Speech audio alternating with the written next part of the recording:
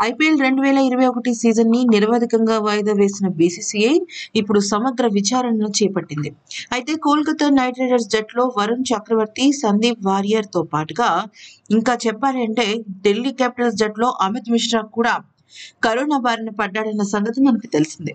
అయితే దీనిపై మొత్తం బీసీసీఐ మీద ప్రపంచ దేశాలు దుమ్మెత్తిపోస్తున్నాయి. కరోనాకు సంబంధించి బయోబబుల్లో ఉన్నప్పుడు కూడా మీరు కనీస జాగ్రత్తలు తీసుకోలేదా అంటూ తీవ్రమైన విమర్శలు చేస్తున్నాయి.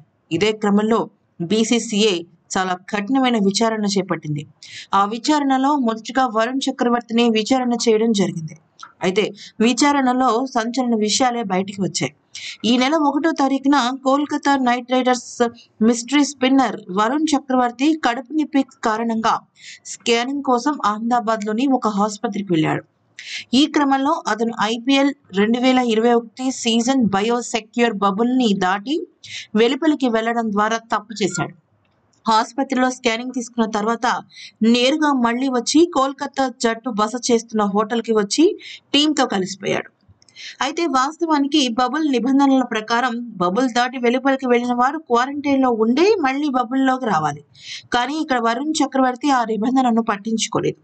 కోల్కతా టీంలో చేరిపోయిన వరుణ్ చక్రవర్తి దేశవాళిలో తనతో కలిసి తమిళనాడు టీంకి ఆడుతున్న సందీప్ వారియర్తో కలిసి హోటల్లో భోజనం చేశాడు. ఆ తర్వాత ఇద్దరు కలిసి కోల్కతా టీం బస్సు స్టేడియంలో ప్రాక్టీస్ కోసం వెళ్ళారు అప్పటికే ఢిల్లీ టీం ఆ స్టేడియంలో ప్రాక్టీస్ చేస్తుంది. వాస్తవానికి రెండు జట్లను ఒకే స్టేడియంలో ఒకేసారి ప్రాక్టీస్కు అనుమతించడం కూడా బయోబబుల్కి విరుద్ధమే.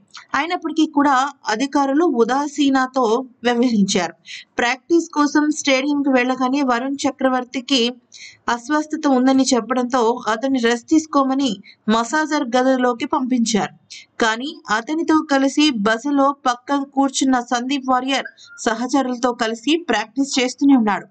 పక్కనే నెట్స్లో బౌలింగ్ చేస్తున్న ఢిల్లీ స్పిన్నర్ అమిత్ మిశ్రాతో కలిసి కాసేపు సరదాగా మాట్లాడాడు. దాంతో సందీప్ వారియర్ నుంచి మిశ్రాకి సోకింది.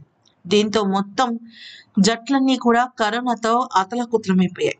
ఇక ఈ కరోనా కేసులు నమోదవడానికి విచారణలో వెలుగు చూసిన కారణాలు ఇంకా ఉంటే ఇంకా చాలా లోతుగా పరిశీలించినట్టయితే ఇంకొన్ని కారణాలు బయటికి వస్తున్నాయంటూ బీసీసీఐకి సంబంధించిన అధికారులు వెల్లడిస్తున్నారు.